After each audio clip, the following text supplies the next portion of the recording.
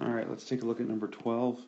Um, 12 is saying if I raise 2 over 5 to the third power, is, is the statement here true or false? Well, 2 to the fifth uh, cubed just means 2 times 2 times 2, which is definitely 8, and 5 times 5 times 5, which is 125. So that is absolutely true.